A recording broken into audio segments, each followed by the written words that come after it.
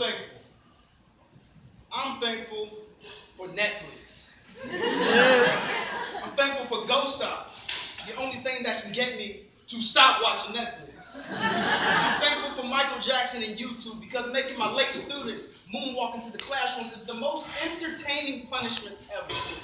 I'm thankful for Jungwon and Kimchi because now all others are five star. I'm thankful for Ramen seem not quite so distant. For Soju, helping my vice principal be a little less intimidating. For fried chicken, the one thing I can eat better than everyone in my host family.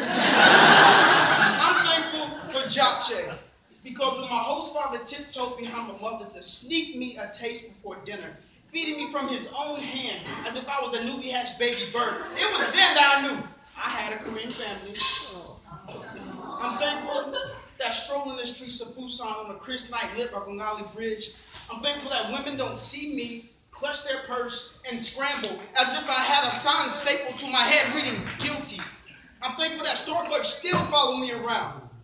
But here they're trying to slip me into $500 jackets instead of presuming I'm trying to slip out with $5 worth of snacks stuffed into my pockets. I'm thankful.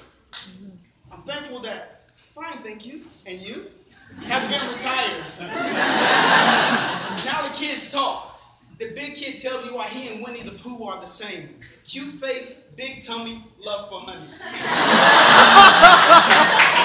the short kid tells me that he in fact likes his small head. The quiet kid whispers, I actually enjoy English. The bad kid became such a rebel that he actually wanted to participate, and best of all, last Tuesday, Sleeping Beauty stayed away.